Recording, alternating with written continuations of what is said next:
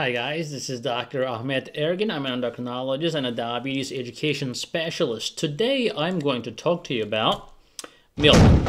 Now, I have a lot of milk addicts in my practice, and I tell them this.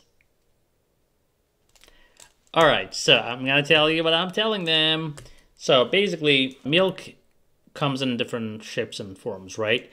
So when you say milk, you kind of pretty much, you know, talk very general. I'm like, what kind of milk are we talking about here? Is it whole milk? Uh, is it milkshake? And what are we talking about here? And it's surprising, you know, what funny things my patients will say. But the bottom line is, uh, to not to waste your time here, um, it's okay to have milk. Uh, it's better than actually uh, all these beverages that are full of sugar Actually, one cup of uh, milk will have only 12 grams of carbs. Uh, the glycemic is not that high. Glycemic index or glycemic load is not that high. If you're limiting your intake to only 8 ounces or so, that's perfectly fine.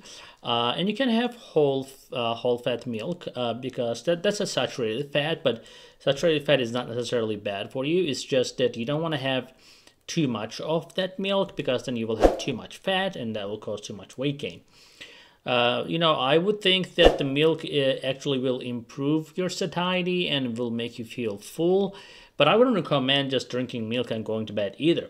Again, anything you put to your body, if you're not burning that calories, it's just gonna turn into fat. You know, what do you expect, right? Bottom line is you can use milk uh, and yogurt as a snack. So full fat or whole fat, whole milk is all fine. You just need to keep your portion size small and uh, be happy with it. So that's all I'm going to say. Have a wonderful day, guys. Guys, remember to subscribe and remember to give a thumbs up and share this video with the family and friends.